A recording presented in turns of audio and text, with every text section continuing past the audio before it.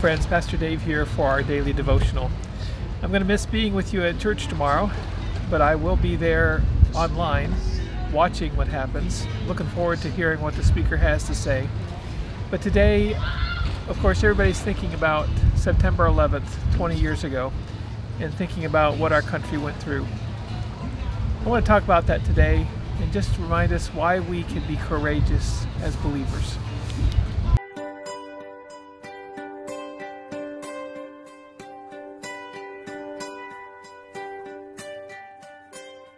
Having a wonderful day at Key West today.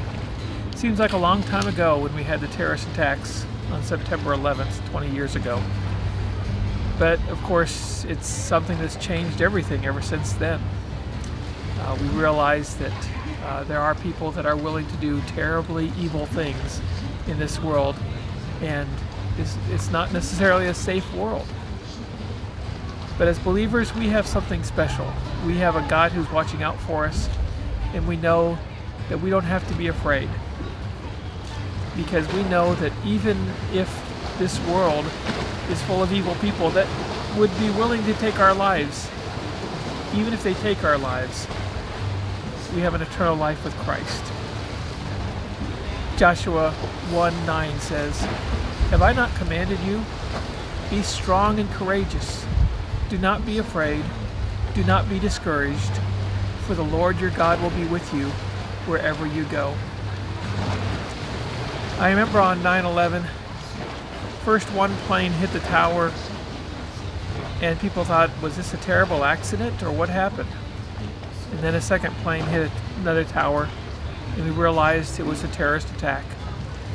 Then, when the plane hit the world, hit the uh, Pentagon, we realized this isn't over with and it could still happen again and again and again. And only later did we hear about the phone call from the flight where Todd Beamer was a passenger on a flight that had been hijacked. And he was able to get to a phone and he called about what was happening.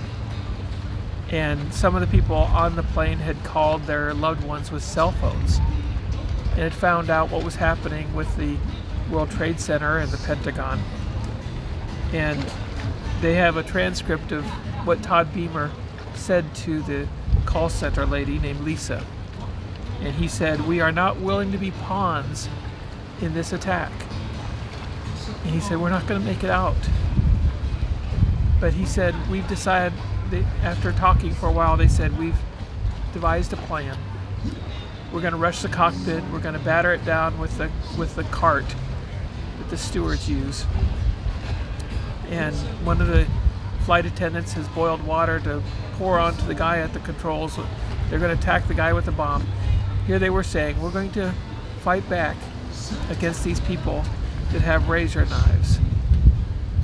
Because we know that while we may not make it out, we don't want to be the instrument to cause thousands of the last word he said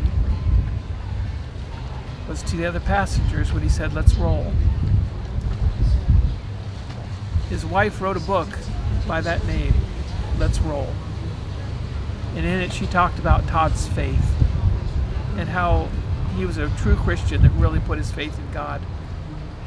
And I believe that's what really sustained him when he was facing his own death and he realized was going to go down fighting and make sure that he protected other people. The word hero is used so easily nowadays. There's a lot of people that we call heroes that aren't. Todd Beamer was a real hero, and many others on that flight were as well. I hope that when we are called to stand up for something worthwhile, we have the courage that comes from knowing that God has commanded us and we should be strong and courageous and not be afraid and not be discouraged. Why? Because the Lord your God will be with you wherever you go. Let's pray. Father, we pray for those who are still 20 years later grieving over lost loved ones from this attack, and for a country that has lost its sense of invulnerability But Father, when we realize how vulnerable we are to others, may we remember how protected we are by you. Watch over our country, watch over our people, watch over your people around the world. And I pray, Father, that evil will not triumph, but righteousness will. In Christ's name we pray. Amen. God bless you. Love you all. And we'll see you soon.